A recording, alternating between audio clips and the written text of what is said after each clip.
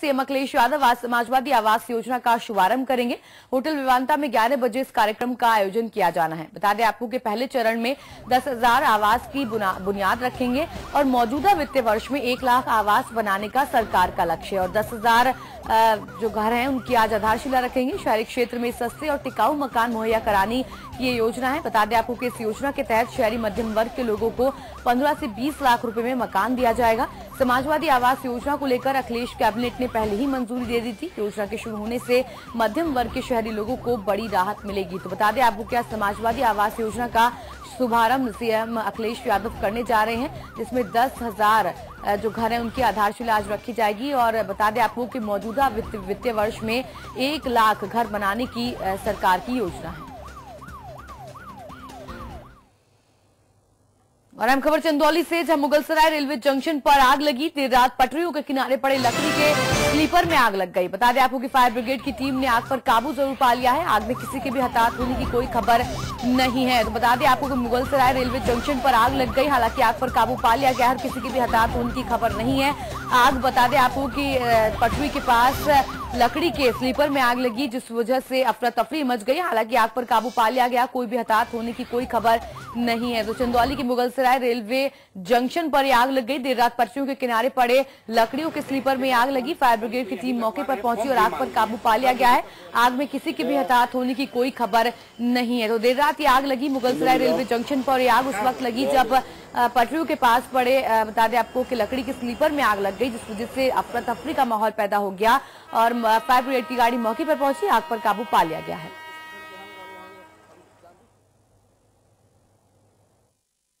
ये बिल्कुल आपके मुगल सराय रेलवे स्टेशन के पास में ही ये स्लीपर में आग लगी है, जो लकड़ी का स्लीपर है।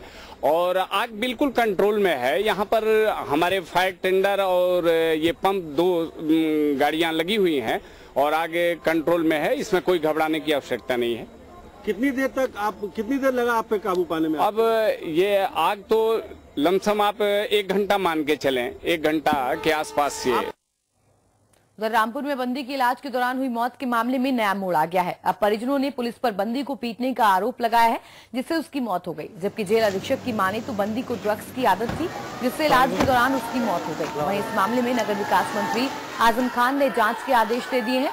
आपको बता दें कि रामपुर के थाना बिलासपुर इलाके के रहने वाले पप्पू को पुलिस 28 अप्रैल को उसके घर से उठाकर ले गई थी जिसके बाद उसे जेल भेज दिया गया था जहाँ उसकी तबीयत बिगड़ने पर अस्पताल में भर्ती कराया गया था लेकिन अस्पताल में पप्पू की मौत हो गई थी।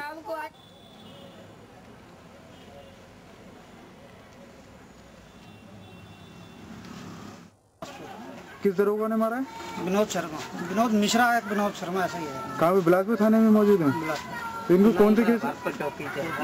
कौ, कौ, कौन से केस में भेजा था इनको? साठ में बासठ में साठ बासठ कितने दिन पहले भेजा था? छब्बीस तारीख के बाद सोमवार की। और इनकी मौत कब हुई? मौत कल शाम को। जैसा कि डॉक्टर साहब ने लिखा है ये ड्रग एडिक्ट था बहुत ही कमज़ोर था ढंग से चल फिर भी नहीं पा रहा था गिर जा रहा था।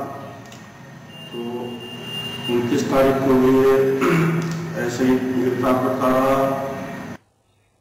और बड़ी खबर बता दें, आपको यूपी में पंद्रह आईएएस अफसरों के तबादले किए गए हैं। बता दें, आपको इलाहाबाद के डीएम भवनाथ सिंह को हटा दिया गया है और कौशल लाल शर्मा को इलाहाबाद के नए डीएम बना दिया गया है। तो वहीं निखिल चंद्र शुक्ला को मुजफ्फरनगर का नया डीएम बनाया गया है। तो बता दें आपको कि 15 आईएएस अधिकारियों का जो है तबादला हुआ है। कौशल लाल शर्मा को इलाहाबाद का नया डीएम बनाया गया है। तो वही निखिल चंद्र शुक्ला को मुजफ्फरनगर का नया डीएम बनाया गया है। इसके साथ ही बता दें आपको, वैभव श्रीवास्तव डीएम बने हैं मऊ के बता दें आपको कि 15 आईएएस अधिकारियों का तबादला हुआ है। संजीव शरण प्रमुख सचिव बनाए गए हैं वन एवं पर्यावरण के। बता दें आपको, अनिता भटनागर जैन प्रमुख सचिव खेल बनी है। तो इसके साथ ही भूपेंद्र सिंह प्रमुख सचिव होमगार्ड बनाए गए हैं और प्रभात कुमार प्रमुख सचिव आर, आरईएस बनाए गए हैं। बता दें आपको कि भूपेंद्र सिंह प्रमुख सचिव होमगार्ड बनाए गए हैं। तो 15 आईएएस अधिकारियों का तबादला हुआ है, जिसमें ऋतु माहेश्वरी विशेष सचिव चिकित्सा बनाई गई है स्वास्थ्य एवं परिवार की। बता दें आपको कि इलाहाबाद के डीएम को बदला गया है और अब कौशल राज शर्मा इलाहाबाद के नए डीएम होंगे। इलाहाबाद के नए, जो डीएम थे, भगवान, भवनाथ सिंह, उनको हटा दिया गया है। और आगरा में एक बार फिर से धर्म परिवर्तन का मुद्दा गर्मा गया है। सत्रह हिंदुओं के ने पहले इस्लाम धर्म अपनाया था, उसके बाद तीन महीने बाद इस्लाम छोड़कर उन्होंने फिर से हिंदू धर्म अपना लिया है। अश्विना थाने के महुआ लाठिया की ठार का ये मामला है। तो धर्म परिवर्तन का जो मामला है, एक बार फिर से गर्मा गया है। बता दें आपको कि यहाँ मुस्लिम से हिंदू बने सत्रह लोगों ने दोबारा मुस्लिम धर्म अपना लिया है। जानकारी के मुताबिक उन्होंने पंद्रह दिसंबर 2014 को हिंदू धर्म अपनाया था और अब इन सभी को शहर मुफ्ती कादरी ने एक शादी समारोह में कलमा पढ़वाया। मामला आगरा के अचनेरा ब्लॉक के महुअर राठिया की ठार गाँव का है। इस्लाम अपनाने के साथ ही उन्हें दोबारा निकाह भी करना पड़ा। दरअसल इन सभी को 15 दिसंबर को अपनी इच्छा से मुस्लिम से हिंदू धर्म अपनाया था, लेकिन अब ये लोग दोबारा इस्लाम धर्म को भूल कर लिए हैं। तो बता दें आपको कि एक बार फिर से धर्म परिवर्तन का जो मुद्दा है, वो गर्मा गया है। पहले मुस्लिमों ने, बता दें आपको, हिंदू धर्म को भूला था दिसंबर 2014 में, और अब एक बार फिर से हिंदू धर्म छोड़कर मुस्लिम धर्म अपना लिया है। और बलिया में बीस सड़क पर ही पूर्व मंत्री घूरा राम पिट गए। पूर्व मंत्री को बच्चे, बूढ़े और जवान सबने मिलकर पूटा दरअसल पूर्व मंत्री घूरा राम खुलेआम रोड पर अपनी गुंडाई दिखा रहे थे और बिना गलती के ट्रक ड्राइवर को पीट रहे थे, जिससे गुस्साए लोगों ने पूर्व मंत्री को जमकर पीटा। जमकर उनकी पिटाई लगाई तो गुंडाई दिखाना, दबंगई दिखाना पूर्व मंत्री घूरा राम को भारी पड़ गया गुस्साई भीड़ ने जमकर उनकी पिटाई लगाई। बता दें, आपको लालघूसों से उनको पीटा गया है। जमकर बीच सड़क पर उनकी पिटाई लगाई गई है। नेताजी, यहाँ पर गुंडा गुंडई दिखा रहे थे, दबंगई दिखा रहे थे और एक ट्रक ड्राइवर को बिना उसकी गलती के पीट रहे थे और ये सब देख भीड़ को गुस्सा आ गया। भीड़ आक्रोशित हो गई और भीड़ ने राम को घेर लिया और जमकर उनकी पिटाई कर दी। तो बता दें आपको कि दबंगई दिखाना, गुंडई दिखाना नेताजी को भारी पड़ गया और बीस सड़क पर नेताजी की पिटाई कर दी भीड़ ने मिलकर। बता दें आपको कि सभी लोग गुस्सा गए थे क्योंकि बीस सड़क पर जो ट्रक ड्राइवर को बिना किसी गलती के पूर्व मंत्री पीट रहे थे, इससे गुस्साए भीड़ ने जमकर पिटाई लगाई।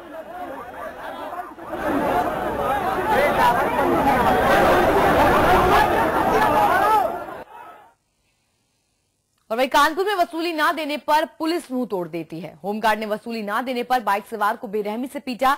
होमगार्ड की पिटाई से लहूलुहान होकर बाइक सवार पब्लिक के दौड़ाने पर जान बचाकर एटीएम में जा घुसा। होमगार्ड हरवंश मोहाल है। बता दें आपको थाना क्षेत्र के नैराना चौराहे की घटना है।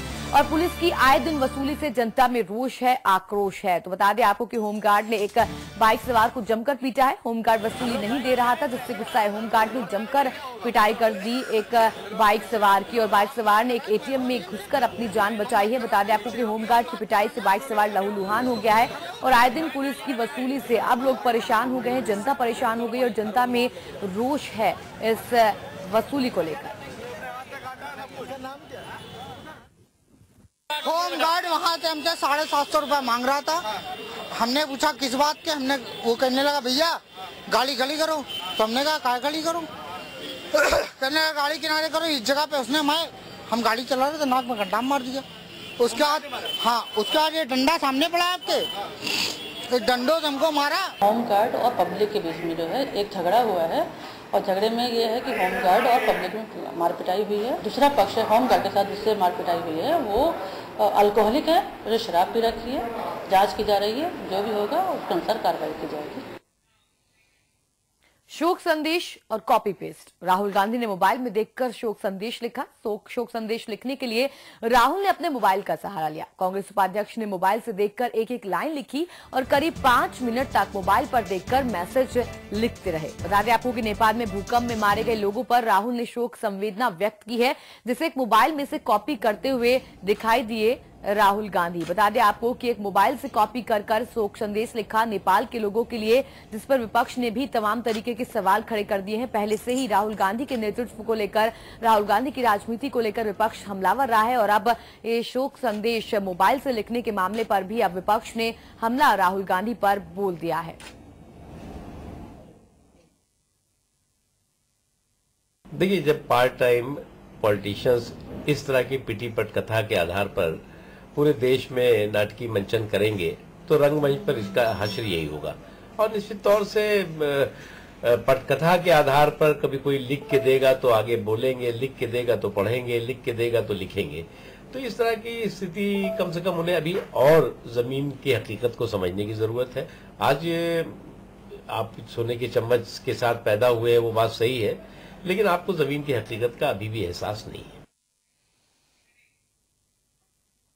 एटा में बीजेपी सांसद साक्षी महाराज ने राहुल गांधी पर हमला बोला। साक्षी महाराज ने राहुल गांधी को पागल कह दिया। साक्षी महाराज ने कहा कि राहुल गांधी को राजनीति की एबीसीडी की जानकारी भी नहीं है। उन्होंने कहा कि राहुल को पता होना चाहिए कि वे पीएम के बारे में क्या बोल रहे हैं। राहुल पगला गए हैं। वो आज खेती किसानी की बात कर किसानों का रहनुमा बनने का दिखावा कर रहे हैं। साक्षी महाराज ने कहा कि राहुल को तो गेहूँ और जौ में अंतर तक नहीं मालूम है और वो किसानों की बात करने चले हैं। तो साक्षी महाराज ने एक बार फिर से निशाना साधा है राहुल गांधी पर और कहा है कि राहुल गांधी पगला गए हैं, जिन्हें किसानी के बारे में कुछ नहीं पता जिसे खेतों के बारे में कुछ नहीं पता, वो किसान की बात करता है। अगर मैं ये कहूँ कि राहुल गांधी पगला गए हैं, या ये मैं कहूँ राजनीति की एबीसीडी नहीं जानते हैं या मैं ये जानता हूँ, किसानों की बात करने वाले राहुल गांधी, गेहूँ और जौ की बाल में क्या अंतर है, ये वो नहीं जानते हैं।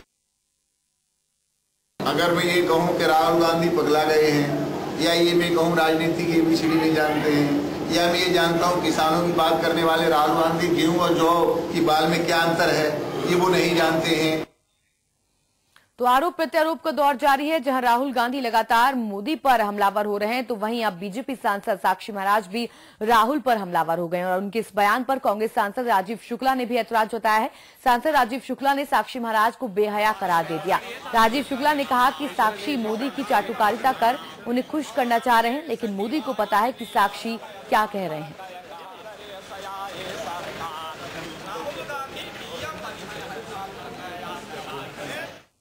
देखिए तो मुझे लगता है कि साक्षी महाराज को कोई महत्व तो देना ही नहीं चाहिए। जब उनकी पार्टी उन्हें कोई महत्व तो नहीं देती है। तीन बार प्रधानमंत्री उन्हें डांट चुके हैं। इसके बाद भी साक्षी महाराज जैसे व्यक्ति को शर्म नहीं आती है कि बेहया की तरह बोलते रहते हैं। तो साक्षी महाराज को कोई अहमियत देनी नहीं चाहिए। और मुजफ्फरनगर में आयुर्वेद के डॉक्टर राकेश अग्रवाल ने बाबा रामदेव की दवा पुत्र जीवक बीज को लेकर टिप्पणी की है। उन्होंने कहा कि इस नाम से लोगों को कंफ्यूज हो रहा है। डॉक्टर राकेश अग्रवाल ने कहा कि जबकि इस दवा का योग ग्रंथ भाव प्रकाश निघ घंटू है, नाम जिया पोता है, लेकिन बाबा रामदेव लाभ कमाने के लिए ऐसा कर रहे हैं। डॉक्टर राकेश अग्रवाल ने कहा कि इस दवा का उपयोग मुख्यतः इन्फर्टिलिटी में किया जाता है। पुत्र जीवक नाम से ये कन्फ्यूज़न हो रहा है। पुत्र जीवक का जो दूसरा नाम है आयुर्वेद में, वो जिया पोता है। पुत्र जीवक नाम से लोग ये समझते हैं कि इसके लेने से पुत्र ही होता है, जबकि ऐसा नहीं है। आयुर्वेद की जो ऑथेंटिक बुक है, भाव प्रकाश निघंटू, उसके पेज नंबर पाँच सौ उन्नीस पे आप स्पष्ट रूप से देख सकते हैं कि इसका प्रयोग मुख्यतः इनफर्टिलिटी की प्रॉब्लम्स में होता रहा। या अन्य और कई इंडिकेशन है जहाँ हम इसको यूज़ करते रहे। जैसे सिर में दर्द होने पर, पुराने अल्सर्स में इसको लोकल एप्लीकेशन में हम इसको यूज़ करते हैं। ये कहीं मेंशन नहीं है पूरी बुक में या इस इस इस जिया पोता या पुत्र जीव की डिटेल्स में कि इसके लेने से लड़के ही होते हैं या लड़का होने पे इसको दिया जाता है, ऐसा नहीं है। दिल में न्याय की आस, आँखों में आँसू लिए। मऊ में बुज़ुर्ग दंपति पिछले सात दिनों से धरने पर है। लेकिन मऊ जिला प्रशासन कुछ ज़्यादा ही मशरूफ है, जिसे ना कुछ दिखाई देता है और ना कुछ सुनाई देता है। ढलती उम्र का ये पड़ाव और ऊपर से गमों की ऐसी मार कि आँख से आँसू रुकने का नाम ही नहीं ले रहे हैं। मऊ के थाना सराय लखनसी के रस्तीपुर गाँव के बुज़ुर्ग दंपत्ति को दबंगों ने उनके ही घर से बेघर कर दिया। दबंगों ने बुज़ुर्ग दंपत्ति की घर और ज़मीन पर कब्जा कर लिया है। न्याय की आस में बुज़ुर्ग दंपत्ति कलेक्ट्रेट पर धरने पर है। बैठे हैं धरने पूरा स्टोव चूल्हा वाला बर्तन लेकर बैठे हैं। क्या मांग है और क्या ठाकुर बाबा घर में सिर्फा सको बोलिए ना। बोलिए बोलिए कस क्या हुआ? सड़क में तो क्या आपके घर से निकाल दिए हैं सर? क्यों? बैठी यहाँ पे। हमारे घर जिंदार बाबन ले लेने से बैठे कहाँ रही अच्छा। कहाँ रही का कहत हूँ हम्म। तो यहाँ बैठने से आपको न्याय मिल जाएगा? यहाँ बैठने से आपको घर मिल काहे मिले? ना दिए साहब का पिछले सात दिनों से बुज़ुर्ग दंपत्ति धरने पर हैं। यहाँ दंपत्ति बर्तन चूल्हा राशन पानी लिए अपने दिन गुजार रहे हैं। लेकिन मऊ जिला प्रशासन को कुछ दिखाई सुनाई नहीं देता। इनको घर से गैर कानूनी तरीके से बेदखल करा। अब ये बेचारे खुले आसमान में के नीचे यहाँ कलेक्ट्रेट में चूल्हा चौकी लेकर के बनाने खाने को और धरना देने को मजबूर कहीं इनकी सुनवाई नहीं हो रही। तो यह बिल्कुल गैर कानूनी कृत्य हुआ है और इस पर जिला प्रशासन को तत्काल डकैती का और बेदखली का मुकदमा दर्ज करा करके आरोपियों को जेल भेजना चाहिए। जो कुछ हुआ गलत हुआ और जो हो रहा है वो भी सही नहीं हो रहा। पीड़ित पिछले सात दिनों से न्याय की आस में है और जिला प्रशासन है कि कोई सुध नहीं ले रहा। रविंद्र सैनी, मऊ समाचार प्लस। नेपाल में भूकंप से आई त्रासदी के बाद हज़ारों लोगों की जान चली गई। हज़ारों लोग बेघर हो गए। इस हालात में भारत नेपाल की काफ़ी मदद कर रहा है। अब आम जन के भी नेपाल की मदद को हाथ आगे बढ़ाए हैं। इस कड़ी में आगरा में जगह जगह सहायता कैंप लगाकर लोगों से नेपाल के लोगों के लिए सामग्री और सहायता ली जा रही है। आगरा से तीन ट्रक भेजे जा चुके हैं। तो वहीं फैजाबाद में सिंधी समाज और दूसरे समाज सेवी संगठनों ने पीड़ित लोगों के लिए तीन ट्रक राहत सामग्री नेपाल भेजी और मऊ से मेडिकल व्यवसायियों ने लाखों रुपए की दवाओं को इकट्ठा कर जिलाधिकारी को सौंप कर नेपाल भेजने को कहा है। तो लगातार भारत जो है, वो नेपाल के साथ खड़ा हुआ है और लगातार नेपाल को जो मदद है, वो मुहैया कराई जा रही है। गौतमबुद्ध नगर की जिला जेल में लाए गए हत्या के मामले के चार कैदी पुलिस को चकमा देकर फरार हो गए। जिला एवं सत्र न्यायालय से पुलिसकर्मियों की आँखों में धूल झोंक कर चारों कैदी फरार हो गए। बताया जा रहा है कि कैदियों को कोर्ट में पेश किए जाने के बाद जब उनको कैदियों की गाड़ी बैठाने के लिए ले गए, तभी कैदियों ने पुलिसकर्मियों को धक्का देकर ज़मीन पर गिरा दिया और मौका पाकर फरार हो गए। कैदियों के भागने की सूचना मिलते ही पुलिस के आला अधिकारी मौके पर पहुँचे और भागी कैदियों को पकड़ने के लिए टीमें बनाकर कैदियों की तलाश में जुट गई। कोर्ट में आज चार कैदी यहाँ से भागे हैं पुलिस कस्टडी से। कितने पुलिस वाले थे? पुलिस वाले पंद्रह बीस थे। लगभग यहाँ पे कितने कैदी लाए जाते होंगे रोज डेली? कैदी तो तीन चार गाड़ियाँ आती हैं जेल से डेली। ढाई सौ तीन सौ के ढाई सौ तीन सौ के करीब आते हैं। और कितने कैदी भागे हैं? चार कैदी। मेरठ के मुंडारी थाना क्षेत्र के एक युवती के साथ कार में गैंगरेप का मामला सामने आया है। युवती गाजियाबाद की मसूरी में एक मीट फैक्ट्री में काम करती है और बिजनौर की रहने वाली है। आरोप है कि युवती को तीन युवक नौकरी दिलाने के बहाने कार में अगवा कर ले गए और उसके साथ सामूहिक रेप किया। गैंगरेप के बाद दोपहर आरोपी युवती को मुंडाली थाने के गाँव अजराड़ा के पास खेतों में छोड़कर फरार हो गए। युवती ने एक राहगीर की मदद से पुलिस को मामले की सूचना दी जिसके बाद पुलिस ने कार्रवाई करते हुए तहरीर के आधार पर तीनों आरोपियों पर मुकदमा दर्ज कर लिया है। उधर पीड़िता का मेडिकल परीक्षण भी कराया गया है साथ ही पीड़िता के एक सौ इकसठ के बयान दर्ज कर लिए गए और बाकी नाम नहीं पता? बाकी का नाम नहीं पता? इस संबंध में जो है अभियोग पंजीत कर लिया गया है और एक सौ इकसठ में बयान पर जो है दर्ज कर लिए गए हैं। मेडिकल पीड़िता का मेडिकल जो है वो करा लिया गया एक सौ इकसठ की भी जो है इसमें बयान दर्ज कराने जा रहे हैं और इसमें जो भी अभियुक्त हैं, इनके विरुद्ध पूरी सुसंगत साक्ष्य एकत्रित करके बिल्कुल हम कठोर कार्रवाई करेंगे। उधर कानपुर में एक हाई प्रोफ़ाइल मामले ने पुलिस की नींद उड़ा दी है। मामला थाना जीराबाद इलाके का है। पुलिस प्रशासन में उस समय हड़कम मच गया जब पूर्व क्रिकेटर चेतन चौहान की भांजी रोती चिल्लाती थाने पहुँची।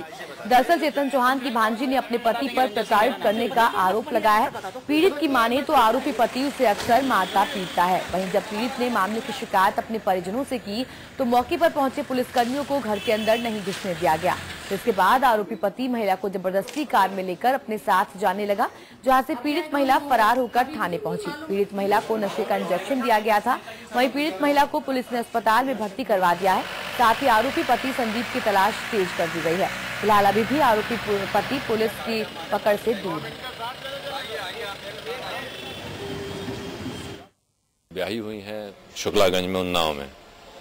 और वहाँ पेरेंट्स को इन्होंने दो ढाई बजे दोपहर में फ़ोन किया कि हम बहुत परेशान हैं और हमको यहाँ से ले जाइए, निकाल ले जाइए। जब वहाँ गई तो इन लोगों को जैसे भी पता चला हो कि फोर्स आ रही है तो फिर इनके हस्बैंड इनको कार में लेकर के वहाँ से भाग चले।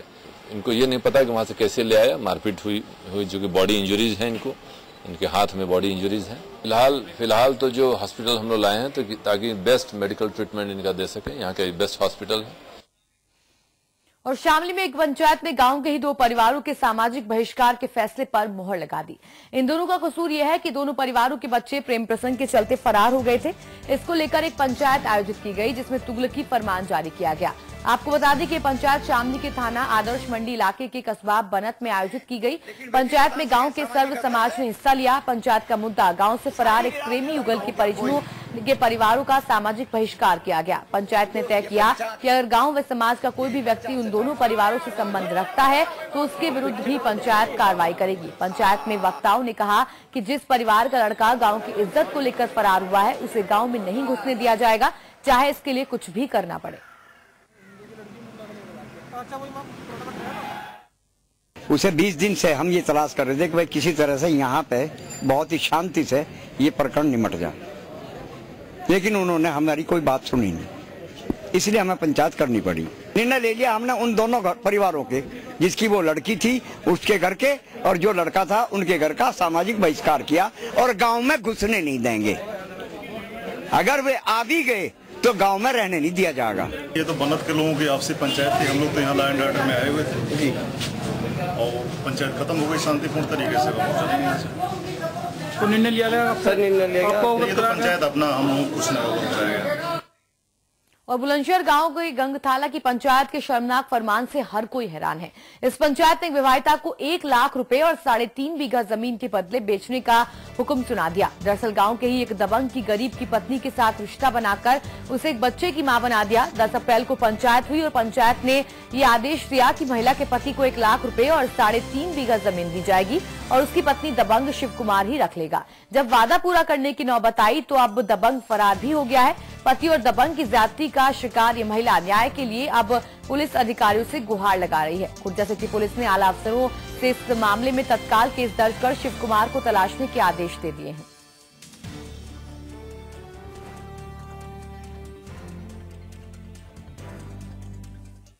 इलाहाबाद के कोतवाली इलाके में मीरगंज रेड लाइट एरिया में एक महिला की बेरहमी से हत्या कर दी गई। हत्यारे धारदार हथियार से देह व्यापार का काम करने वाली इस महिला के घर घुसकर हमला कर दिया।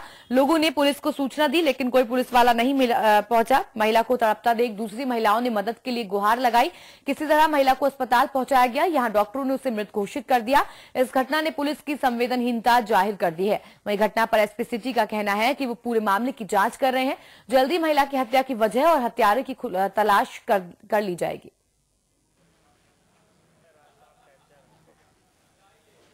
उसमें एक मीरा नाम की महिला युवती थी करीब 25-26 साल की। उसकी किसी ने धारदार हथियार से उसकी उसको घायल कर दिया। घायल करने के बाद वहाँ स्थानीय लोगों ने उसको किसी चिकित्सालय में ले जाया ले गए। बाद में उसकी देर रात उसकी मृत्यु हो गई। पुलिस पूरे मामले की तहकीकात कर रही है। इन हत्या की कारण वजह क्या है? क्यों हत्या की गई? हत्या के पीछे कौन है? और गाजियाबाद के साहिबाबाद इलाके से पुलिस ने पाँच सटेरियों को गिरफ़्तार किया है। ये सभी आईपीएल में चल रहे मैच का सट्टा लगा रहे थे। इनके कब्जे से 38 मोबाइल, अट्ठाईस हज़ार रूपए और दो लैपटॉप और टीवी बरामद किया गया है। इनका गिरोह एक कंपनी की तरह काम करता था। ये सटेरिये चेन्नई और कोलकाता के बीच हो रहे मुकाबले पर सट्टा लगा रहे थे। सभी हरियाणा के रहने वाले हैं और साहिबाबाद के शालीमार गार्डन में तीन दिन पहले ही एक कमरा किराए पर लेकर क्रिकेट का काला कारोबार चला रहे थे। पुलिस को शक है की इनके विदेशों से भी तार जुड़े हो सकते हैं। फ़िलहाल पुलिस इनके फरार। सरगना साथी राकेश की तलाश में है और उसके गिरफ्तारी के लिए हरियाणा पुलिस की मदद ले रही है। तीन दिन पहले आए थे? तीन दिन पहले यहाँ फ्लैट में आए थे?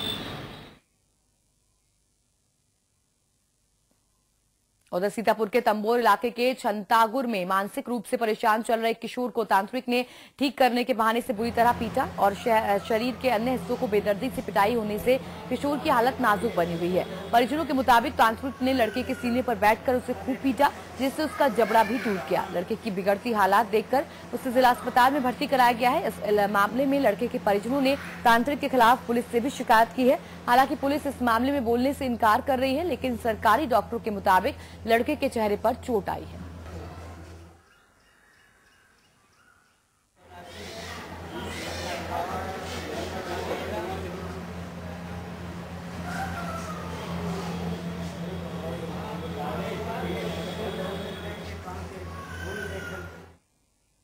और बात आज की न्यूज़ की करते हैं। स्मार्टफ़ोन अब बन गया है हम सब की ज़रूरत। लेकिन कई बार हमारा बजट हमें इजाज़त नहीं देता कि हम स्मार्टफ़ोन को अफोर्ड कर सके। मगर स्मार्टफ़ोन की चाहत रखने वालों के लिए आगरा से गुड न्यूज़ है। क्या है ये गुड न्यूज़ देखिए हमारी इस रिपोर्ट में। सस्ते स्मार्टफ़ोन के लिए शोरूम दर शोरूम भटकने की ज़रूरत अब नहीं पड़ेगी। आपकी ये तलाश डाक विभाग में पूरी हो सकती है। डाक विभाग मात्र ग्यारह सौ निन्यानवे रूपए की कीमत में स्मार्टफ़ोन बेच रहा है। टच एंड टाइप डिस्प्ले वाले इस फ़ोन में कई सारी खूबियाँ हैं और साथ ही इसमें बारह सौ रूपए का टॉक टाइम भी दिया जा रहा है। आगरा में सस्ते फ़ोन से लोग अपने स्मार्टफ़ोन की चाहत को पूरी कर सकते हैं। डाक विभाग ने इसी को ध्यान में रखते हुए एक अनूठी पहल की है। ये mobile phone Penta mobile company की तरफ़ से भारत के डाकघरों में सेल किया जा रहा है। इस मोबाइल फ़ोन में स्मार्टफ़ोन की सभी खूबियाँ हैं, जिसमें से टॉर्च, बैटरी, से ईमेल, सभी तरह की फीचर्स उपलब्ध हैं और ये बहुत हल्का है और बारह सौ रुपये की कीमत का यह मोबाइल अपने साथ में ग्यारह सौ रुपये की फ्री टॉक टाइम की सुविधा देता है। ये फ़ोन आगरा में प्रतापपुरा के अलावा कुछ प्रमुख डाकघरों में उपलब्ध है। इसकी सेवा प्रदाता कंपनी बीएसएनएल है। यानी ये फ़ोन हर उस इंसान के लिए अच्छी खबर है, जो स्मार्टफ़ोन के कदरदान है। लेकिन बजट कम होने के चलते अब तक स्मार्टफ़ोन से दूर है। शिव चौहान, आगरा, समाचार प्लस।